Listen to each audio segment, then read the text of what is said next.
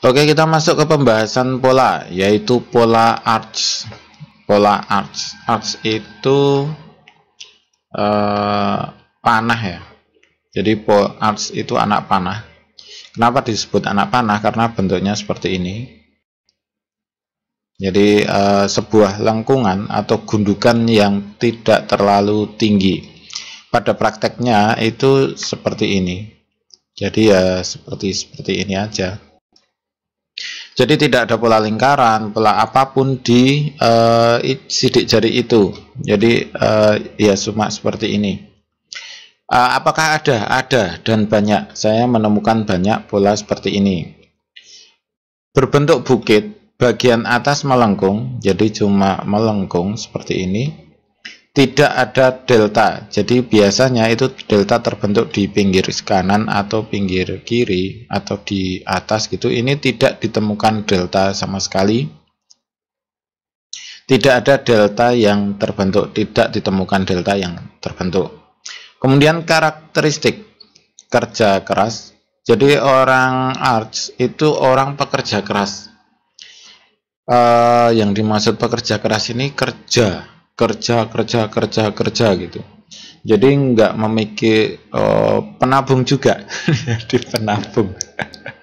Jadi orangnya itu oh, apa ya nggak nggak terlalu pilih oh, nggak terlalu pamrih. Jadi saat dia bekerja itu tidak terlalu harus menghasilkan sesuatu.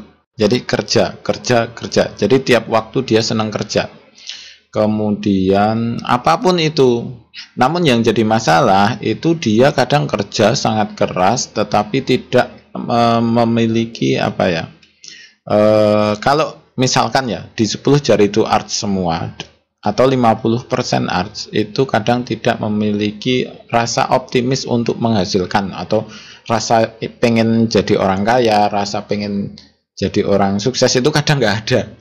Dia memang suka bekerja keras, tapi kadang eh, apa itu ya tidak terlalu ingin e, menang gitu. Jadi bukan seorang yang ingin menang. Introvert, penyendiri, maksudnya tidak terlalu terbuka. Jadi ketika ada masalah dia lebih dipendem. Kemudian hati-hati.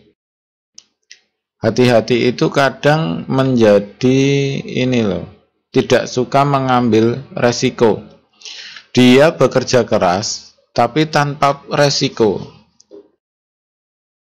Kira-kira bisa membayangkan ya model-model orangnya. Jadi suka bekerja keras, tapi tanpa resiko yang besar.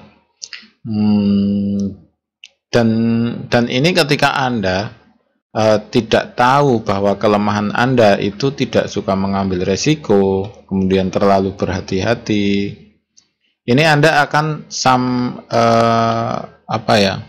Saya tidak menjudge, tapi uh, di sini Anda memang harus belajar. Intinya Anda harus belajar. Kalau memang uh, arts itu adalah 50% ya. Anda harus belajar untuk mencoba mengambil resiko, kemudian mencoba untuk resiko di sini bukan berarti harus ga tidak gambling ya. Tapi resiko misal ya, kita pengen buka usaha baru. Nah, ini kan butuh modal. Nah, modal ini oleh orang as itu lebih baik ditabung gitu Uh, beda nanti dengan pola lain ya, terlalu banyak mengambil resiko. Kalau ini memang uh, sama apa ya? Ya mending ditabung. Jadi uh, ingin ing, ing, ing, apa ya kerja keras aja. Saya bekerja nanti dapat duit tabung gitu. Modelnya seperti itu. Kemudian bekerja tanpa keluhan. Memang seorang pekerja keras. Jadi tipe ini tipe malaikat ya. Jadi oh, bekerja keras tanpa apa itu tanpa pamrih kemudian eh, nah ini tidak suka mengambil resiko. Jadi dia orangnya tenang seperti apa ya orangnya orang-orang baik jadi orang Ars itu orang baik. Suka mengikuti langkah-langkah. Jadi kalau uh, ini nggak nggak mesti. Kalau ini saya nggak terlalu menemukan yang suka mengikuti langkah-langkah. Jadi kalau misal ada uh, apa ya, misal kita beli sesuatu kan ada itunya buku panduannya nah dia mengikuti langkah-langkah yang ada di panduan itu kemudian turun ke bumi uh, ikut campur. Uh, ini iya jadi iya. Uh, jadi orangnya itu orang yang kadang mengikut apa ya misal ada orang yang punya masalah dia itu nimbrung kemudian pengen me mem memberikan solusi. Dia memberikan tenaganya orang baik intinya orang baik namun kadang uh, ikut campur ini jadi masalah untuk dirinya sendiri karena kadang terlalu banyak ikut campur itu. Tapi intinya ini adalah orang baik. Jadi orang yang sangat baik. Jadi orang arts itu adalah orang yang sangat baik. Nggak ter, nggak nggak nggak pamrih suka kerja suka menolong suka menabung. Beneran loh beneran loh Uh, selama saya tes sebenarnya kalau di konfigurasi dunia orang ini orang arts ini sebenarnya mendapatkan sekitar 30% uh, populasi ya jadi uh, pola AS ini ditemukan sekitar 30% populasi manusia.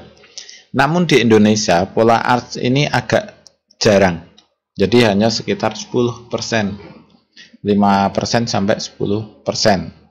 Jadi memang pola AS ini agak jarang ditemukan di uh, di selama saya ngetes ya. Enggak enggak cuma di Indonesia sih. Ya cuma di daerah-daerah saya sendiri ya.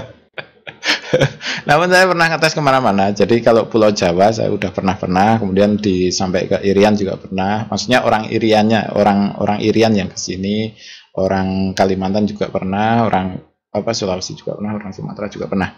Intinya ini uh, tidak banyak ditemukan di Indonesia. Kemudian pola umum di semua jari. Nah ini jadi salah karena uh, di Indonesia itu jarang ditemukan hanya sekitar 5% sampai 10%. Kemudian jarang di jari kelingking. Uh, saya biasanya menemukan di telunjuk atau di uh, jari tengah. Kemudian ciri khusus uh, tanpa delta. Jadi memang tidak ditemukan delta di mana pun. Kemudian tanpa aliran. Maksudnya gini, tanpa aliran itu biasanya ada alirannya. Jadi alirannya ini kan tidak terlalu terlihat ya.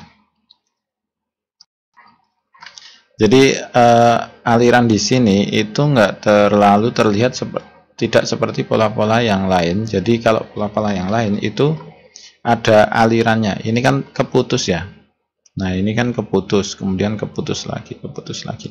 Maksudnya ada aliran itu. Eh, nah, nah nanti nanti kan ada. Kemudian tanpa pusat. Pusatnya kan juga core-nya nggak ada di sini harusnya kan gitu.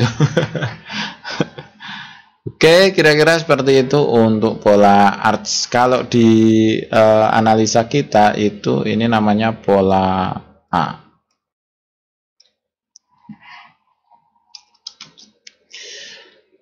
Kalau misalkan Anda tertarik uh, tentang analisa sidik jari bakat ini, ini harganya 100.000 per analisa. Kemudian caranya kirimkan foto 10 ujung dari jari dan foto telapak tangan Anda, kedua telapak tangannya, ke WhatsApp 081391005464. Kemudian hasilnya itu dikirim dalam bentuk PDF ke WhatsApp Anda. Oke, terima kasih, selamat mencoba dan semoga sukses selalu.